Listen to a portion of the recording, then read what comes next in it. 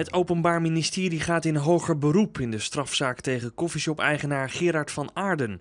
Twee weken geleden werd die zaak niet ontvankelijk verklaard. Het OM had volgens de rechter de koffieshophouder niet mogen vervolgen, omdat bekend was dat Van Aarden werkte met een voorraad van tientallen kilo softdrugs, waarmee hij zijn zaken in Goes en Vlissingen bevoorraadde. Volgend jaar wordt de zaak behandeld bij het gerechtshof in Den Bosch.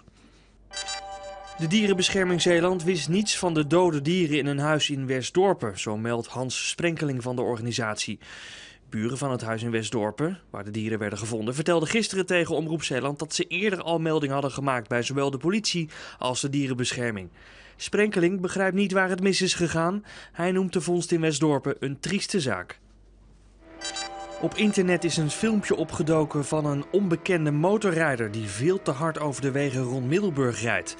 Het filmpje draagt de titel Laagvliegende Ninja doet Zeeland met 290 km per uur. De bestuurder race met hoge snelheid verschillende keren over de nieuwe N57, waar maximaal 80 km per uur is toegestaan, en de A58. Reddingsmaatschappij KNRM waarschuwt watersporters vandaag goed uit te kijken. Er is kans op stevige onweersbuien vanuit het zuidwesten met windstoten tot 100 km per uur. Het advies is om de weerberichten goed in de gaten te houden en bij twijfel niet het water op te gaan. Heeft u tips? Bel ons of mail